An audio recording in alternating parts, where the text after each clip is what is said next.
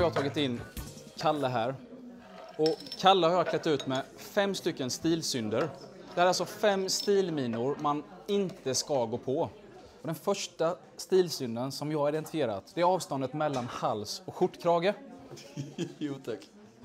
Tumregeln är att det ska vara max ett finger, det ska vara bekvämt, men det ska samtidigt sitta nätt och elegant. Stilsynd nummer två är slipsknuten. Jag förespråkar en tight och en nätt och en asymmetrisk slipsknut. Många män när de har slipsknuten på sig, de går gärna och plattar till den. Medan jag tycker att man med fördel kan gå och göra lite så här. Eh, ja, men jag tycker den är, all- den är alldeles för liten för mig. Men vad kör du då? men Såna här lite- trekantiga fula jävlar? Ja. Ja, kul.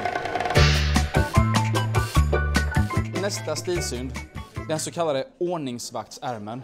Ni ser här att den är ungefär 5 cm för lång. Man ska ju alltid se en liten bit av skjortan, eller hur Per? Absolut. Ja, det blir mycket trevligare. Och i Kalles fall så finns det ju inte ens en antydan till en tillstymmelse av en skjorta liksom. Nej, Nej. det gör det inte. Men är det lite fritt, fritt sen, alltså hur mycket av skjortan man faktiskt ska visa? Nej, jag tycker väl att det är lagom kanske med en centimeter ungefär. Den fjärde stilsynden som vi hittar här är märket som sitter kvar på kavajärmen. Och det är ju kanske den största stilsynden du någonsin kan begå. Det har jag gjort. Du har det? Medvetet? Eh, medvetet. Vad var det för något då? Jag tror det var en av mina första kostymer. Då, du har lagt såklart mycket pengar på Jag det. hade lagt mycket pengar och tänkt att eh, det, var, det var en begravning jag var på Ja. och gick med den. Där vill man gärna vara lite Där vill man ju... Ska man passa på när det är begravning?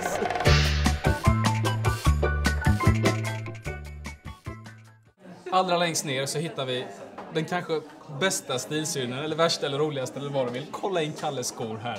Jag tycker alltid att man ska ha en sko som är så nätt som möjligt med lädersula och Oxford-modell. Det vill säga att det är sluten snörning. Du vet vad jag menar Per? Ja. Vänta, jag fick inte den. Det var Men, men du har ju inte en jävla aning om vad jag pratar Nej, om det, har- det, har, det överhuvudtaget. har jag visserligen Går inte. på begravningar och bara så här, kommer Ja. jag på mig.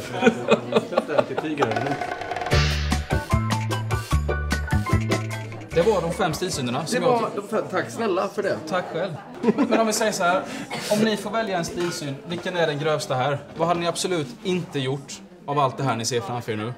Ja, det är skorna skulle jag säga. Ja, den kan jag faktiskt hålla med om. Sen... Och sen är ju inte det här, det här är ju inte ens en snygg lapp som Kalle har här.